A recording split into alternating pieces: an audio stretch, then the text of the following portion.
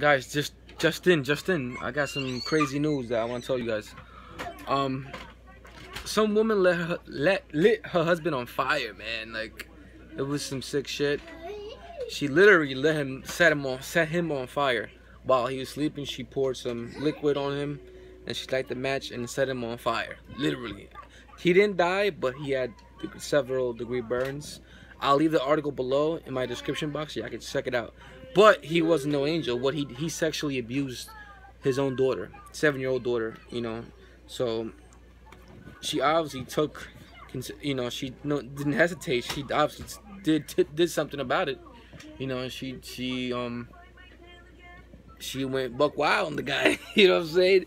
That dude deserved it, man. Honestly, man. How you gonna be sick and do that, man? Fucking sexually abuse your own daughter, man. What the fuck is wrong with you? You deserve you deserve all that burn, man. You deserve all the burns you got, man.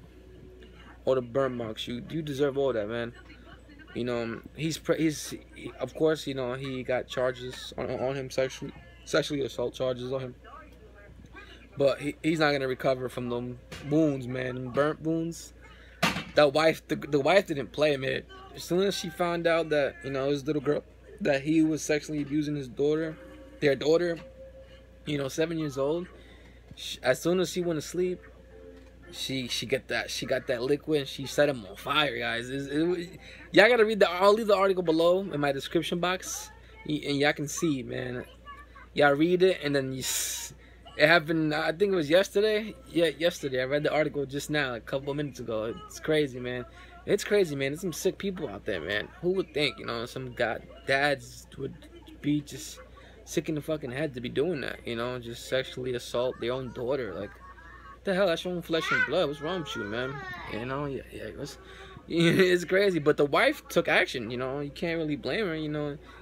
Even that's some gangster shit that what she did, you know. She set him on fire, but I guess he learned now. you know what I'm saying? Um, you guys check out that article, guys. Please, I'm gonna leave it in my description box. Then comment below. Let me know what you guys think, yo, because this is crazy.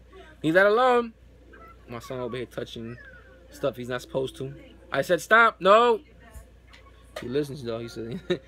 but yeah, guys. Um, I don't know how what man would do that, man. Like just put their touch touch their kids in a certain way sexually. That that's fucking crazy. That's sick.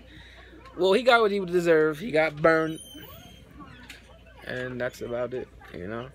Comment below. Let me know what y'all think.